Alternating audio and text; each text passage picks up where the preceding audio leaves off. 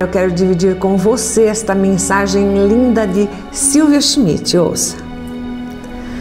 Entregue o seu fardo.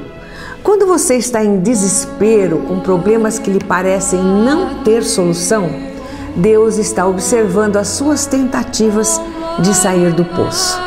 Ele não interfere enquanto vê que você tem recursos para salvar-se das tormentas que assolam sua vida. Quando você já fez tudo, realmente tudo o que podia fazer e ainda assim a tormenta não cessa, ele se levanta do seu sagrado trono e caminha em sua direção. Ele sabe quando você não pode mais suportar um peso que foi além da sua capacidade de suportar, que faz você ter vontade de sumir do mundo. E é nesse momento que ele abre os braços, aninha seus cansaços e toma para si a carga insuportável. Coloque esta certeza em seu coração e descanse. Durma sem levar consigo as preocupações que tinha, as ansiedades com amanhã e o temor de ficar só em meio a uma multidão que ignorará os seus tropeços. Você nunca estará só.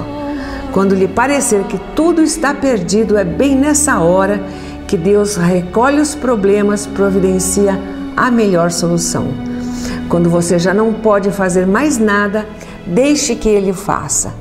As preocupações, o medo, as inseguranças, a descrença são barreiras no caminho por onde Deus está vindo para lhe trazer socorro e as providências do universo.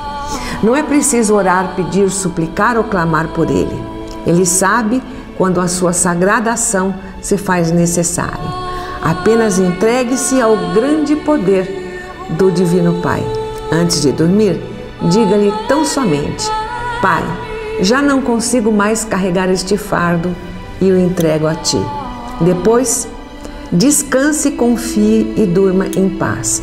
Ele estará em ação e os problemas já não serão mais seus, mas serão dele. Confie em Deus. Gostou? Tomara que sim. E desejando a você uma semana azul, azul, azul, repleta de paz. Eu espero você no próximo programa. Até lá!